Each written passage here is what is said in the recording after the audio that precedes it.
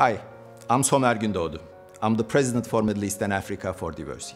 But most important of all, I'm a parent who's concerned about the future of our world and our children. Today, I would like to talk about a topic which is dear to me and is a key concern to us all.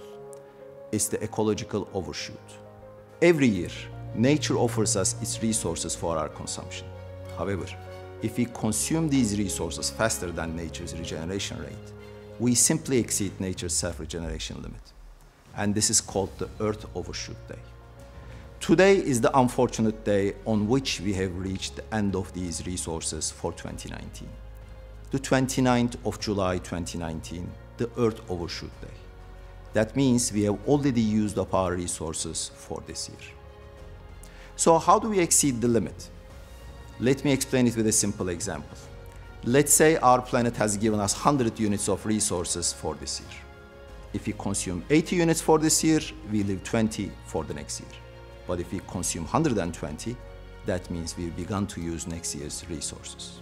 Earth overshoot day varies across the countries, as you can imagine, as different countries have different natural resource consumption rates. And unfortunately, these dates move to an earlier time year after year. Over the past 20 years, the overshoot day has moved up three months to July 29 this year, the earliest ever. We currently use natural resources close to two times faster than our planet's ecosystems can regenerate. If we move Earth overshoot day five days back annually, we can live with the natural resources we have only by 2050. I think this shows the seriousness of the situation very clearly. Now you might wonder, is there nothing we can do to stop this trend? In fact, there is a lot, and there is a lot we can do together. We as Diversey, together with our nearly 9,000 employees, are working towards a healthy and safe world where people are free to live their lives sustainably. Ranging from water usage to food waste, from optimum chemical usage to energy consumption, and from greenhouse gas emissions to waste management. We produce solutions on many different issues. Through our solutions, we managed to achieve a 24% savings on greenhouse gas emissions, a 32% savings on plastic waste, and a 14% savings on water consumption since 2006 globally. In 2018 alone, we saved approximately a billion liters of water in Middle East and Africa, which translates to daily water needs of over 20 million people. We helped our customers reduce their energy consumption and save more than 6 billion kilowatt hours. That's again annual energy need of nearly 2.5 million people who lives in this geography. We helped our customers to reduce their carbon dioxide emission by 2 tons.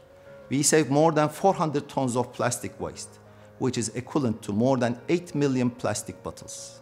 With our Soap for Hope program we launched in 2013, we collected close to 4,000 tons of soap waste from 653 partner hotels all around the world. We produced nearly 32 million bars of new soap and delivered these to the communities in need in different parts of the world in an effort to raise hygiene standards.